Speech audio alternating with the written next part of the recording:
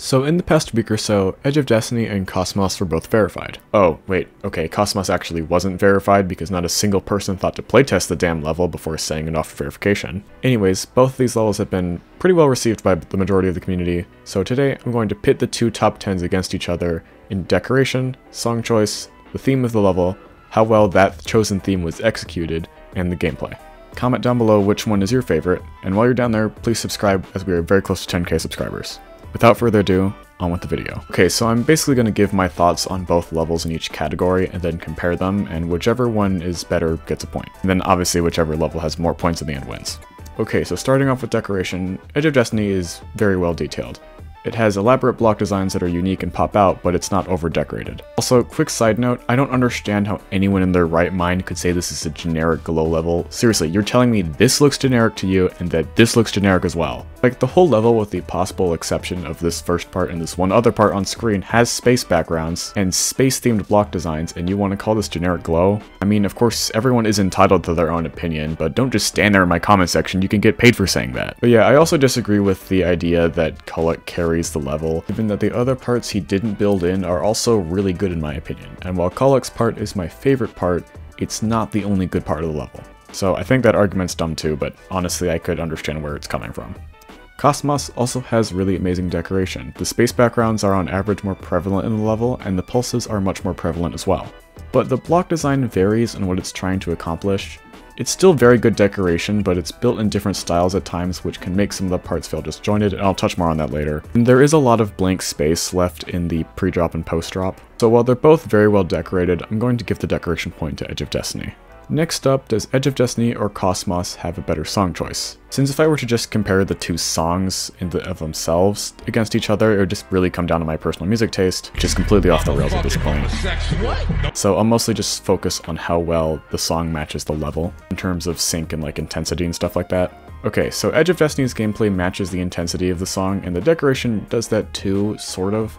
The more intense parts, like Culuc's part and the part where the drums first come in, are more heavily decorated in a way that stands out, but the pulses don't really sync as well with the song and aren't emphasized as much, whereas in Cosmos, the decoration and pulses are very synced to the beat, rhythm, and intensity of each part of the song. So I think Cosmos wins in song choice because it matches the song better with the original and the official remix. Also, another quick side note, I do overall like the Cosmos song better, but that's not really factored in here. I still think that Cosmos matches its song better than Edge of Destiny does. So we're at a tie now, 1 to 1. Okay, so this will be the shortest section because I wanted to compare the levels in the actual chosen theme and then the execution of it separately, but honestly I think both the levels have a really good theme.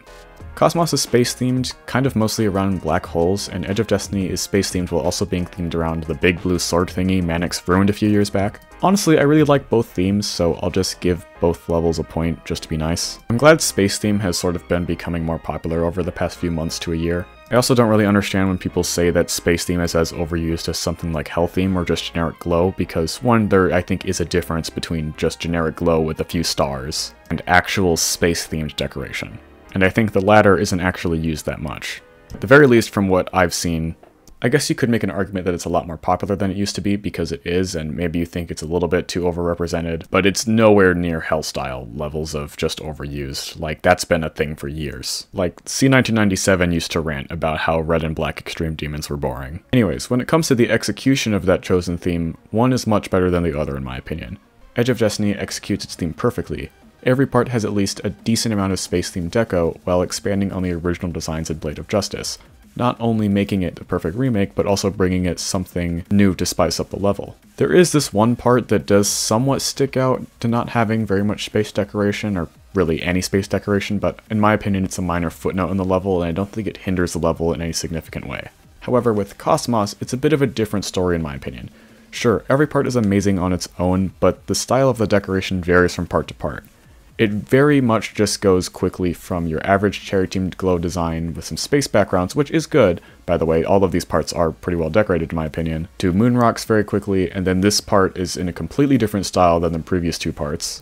And yes, I know it's going to get replaced in the new update playtest disaster state that the level is in, but I'm judging it off of its current state. The transitions help make Cosmos less disorienting, and I do think the transitions are well done in general, at least visually speaking, but a lot of the parts lack consistency in style. which doesn't hurt the level enough for me to dislike it in any way regarding the decoration, but it is enough for me to say that Edge of Destiny does a better job. So the point goes to EOD, meaning EOD is in the lead 3 to 2. And finally, gameplay. Since I can't really judge how fun the gameplay actually is to play given Ezra is still kicking my ass in Bloodbath, I'll just look at structuring, pacing, and originality, the last of which cancels out because EOD is Unnerfed Blade of Justice gameplay and Cosmos is just Slaughterhouse gameplay, so neither of them really have original gameplay. You could argue that Cosmos is slightly more original, but also Edge of Destiny is Unnerfed Blade of Justice. It's meant to restore the legacy of the original, which I think is overall a much wholesome, more wholesome goal than just Slaughterhouse but purple, which was basically what Cosmos originally was until Cherry Team kind of saved it. So in my opinion, it cancels out. So Edge of Destiny has some pretty great structuring in my opinion. It stays mostly faithful to the original Blade of Justice when you compare them side by side, but it brings a whole bunch of new stuff into the mix as well. And Blade of Justice's structuring to begin with is also pretty good. The pacing of the level is pretty good, I think. It has mostly good transitions from what I can tell, and I haven't heard anything about the level being terribly unbalanced.